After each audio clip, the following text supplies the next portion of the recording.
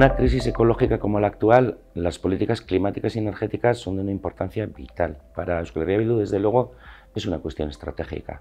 Y por eso hemos hecho un esfuerzo extraordinario para que por fin hubiera una ley de transición energética y cambio climático y para que el flojo proyecto que el Gobierno mandó al Parlamento se convirtiera en una ley razonablemente buena. La ley ni es perfecta ni puede ser la única herramienta para la transición ecológica, pero tener esta base legal es imprescindible las aportaciones de Euskal Herria Bildu han mejorado sustancialmente el proyecto. ¿En qué? En primer lugar, se establecen objetivos específicos para 2030 que el proyecto no tenía. Objetivos de reducción de emisiones de CO2, de reducción de consumo de energía o de aumento de energías renovables. Además de esto, las políticas climáticas y energéticas necesitan un enfoque plural que garantice la participación de expertos, de la gente.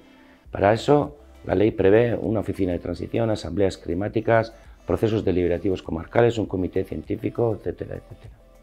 Pero para llevar a cabo las políticas climáticas y energéticas, la ley tiene que contemplar partidas económicas también. Y entre otras cosas, pues los presupuestos deberán destinar al menos un 2,5% a la acción climática, eso supondrá unos 400 millones de euros al año, o se incorpora la figura de un fondo social climático que habrá que nutrir, se establece también un canon para las renovables, para financiar mejoras ambientales y sociales en los pueblos y comarcas donde se desarrollan los proyectos, y además se buscará la participación de la gente y el tejido productivo en las renovables, por diferentes vías, el autoconsumo, las comunidades energéticas, etc., pero también se establecen instrumentos para la socialización de la energía en otras escalas. Los promotores de grandes proyectos públicos o privados deberán ofrecer parte de la propiedad a la gente y a las empresas locales, al menos hasta el 20%. También habrá desinversión fósil del sector público. El EVE deberá abandonar sus activos fósiles antes de 2030, tanto hidrocarburos de Euskadi como las de generación de electricidad a través de fósiles. El dinero básicamente irá para invertir en renovables eh, y se incorporarán muchas más cosas y muchas de las cuales deberán tener un desarrollo reglamentario. Por eso también va a ser importante quién y cómo desarrolle esta ley.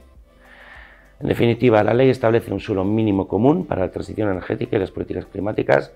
Sin embargo, para realizar una transición ecosocial completa, habrá que desarrollar más leyes, más políticas, así como cambiar hábitos de consumo, movilidad, etc.